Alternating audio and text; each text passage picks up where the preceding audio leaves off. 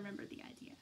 So one of the things that makes it super easy and effortless, where I don't even realize I'm doing it, is when I'm in the middle of cleaning and somebody, one of my family members, I'm Skyping with them, or even on the phone on speaker, because I used to talk on speaker, but mainly if I'm on Skype on video chat, because then I can see them, I can see if they're on camera, they can see that I'm coming back, it's just easier.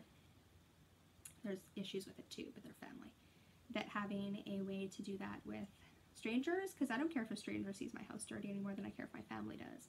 My friends I might care more about, but like having, I would like to discuss this. I would like, I saw this current event and, and I want to have a chat about it. And then it's a weird, it's a weird thing to say, but like, so then someone else can come on and we can both be doing our dishes together and chatting about a world event or the Kardashians or whatever you want to talk about.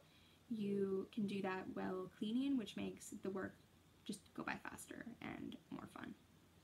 Again, they can't all be gems, people. So that was apple number 64.